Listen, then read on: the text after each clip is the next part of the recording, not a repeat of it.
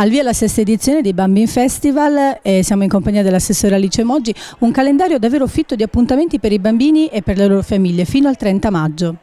Sì, mm, il Bambin Festival è partito ufficialmente con l'inaugurazione sabato 16 maggio, un calendario di iniziative veramente molto intenso come, come tutti gli anni, coordinato dal Centro Servizi Volontariato e da oltre 100 associazioni che ha visto anche diciamo, in questo sabato di apertura mm, l'unione diciamo, di due iniziative, l'Unicef e Leggere.pavia che ha diciamo, riempito il cielo di Pavia di palloncini colorati.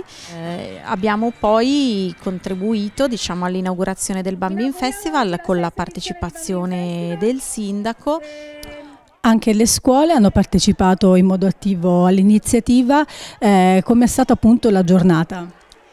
Allora, la, la, giornata si è aperta alle 14.30 con l'inaugurazione della mostra dei lavori dei bambini, tra l'altro devo dire molto belli, molto divertenti e molto fantasiosi, eh, con Daniela Bonanni che rappresentava diciamo, Leggere Punto Pavia, Mimmo Damiani di Unicef, l'assessore Cristiani per il comune di Pavia e Isa Cimolini che era presidente del CSV.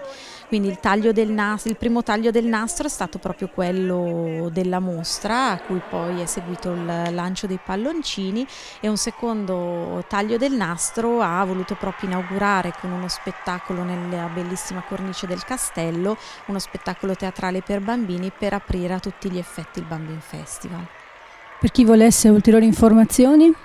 Allora, tutte le informazioni si possono trovare sia sul sito del comune che sul sito di Bambin Festival che è www.bambinfestival.org.